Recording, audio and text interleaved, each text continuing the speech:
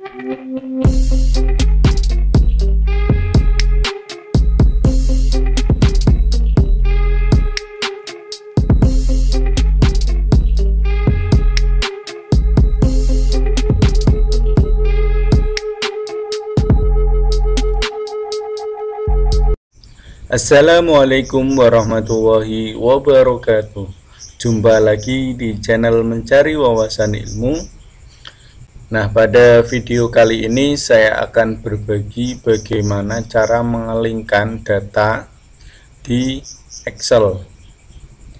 Nah cara ini agar kita mudah dalam pengisian data serta jika memiliki data yang sama ketika salah satu sheet dirubah maka sheet yang lain akan berubah juga. Nah bagaimana cara mengelingkan datanya simak video berikut ini semoga bermanfaat.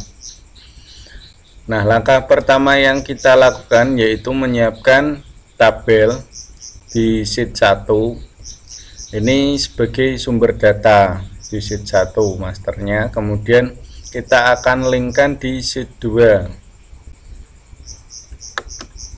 Nah, di sini sheet 2 kita sudah siapkan tabel yang masih kosong belum terisi. Nah, nanti ini akan terisi otomatis karena dilingkan dengan data ini. Apabila di data ini ada perubahan, maka sheet kedua juga akan berubah. Nah, kita langsung saja ke caranya. Nah, pertama kita ke sheet 2 Nah, di sini kita akan mengelingkan namanya. Kita tekan sama dengan, kemudian kita kembali ke sheet 1. Kita klik di sini, kemudian tekan enter. Nah, kemudian kita ambil yang tangan tanggal lahir. Kita tekan sama dengan, kemudian klik ini, kemudian tekan enter.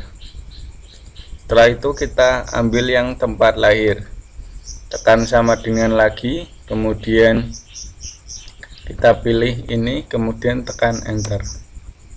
Nah maka akan terisi.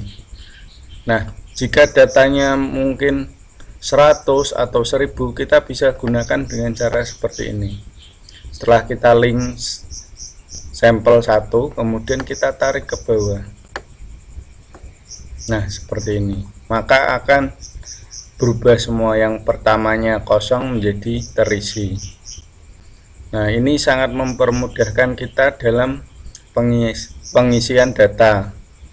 Nah kita coba di data yang pertama misal yang bernama Budi kita rubah menjadi Rudi misal. Nah kemudian kita tekan enter. Nah, di sheet 2 namanya juga berubah dari Budi menjadi Rudi. Mudah sekali kan caranya. Ini untuk mempermudah kita agar tidak banyak yang perlu diedit karena jika di sheet 1 sudah dirubah maka sheet 2 juga akan berubah. Mudah-mudahan video ini dapat bermanfaat. Tetap dukung channel kami agar terus berkembang dengan cara like, komen, subscribe, dan share video ini. Jangan lupa nyalakan lonceng notifikasi agar menerima video terbaru dari kami. Terima kasih. Wassalamualaikum warahmatullahi wabarakatuh.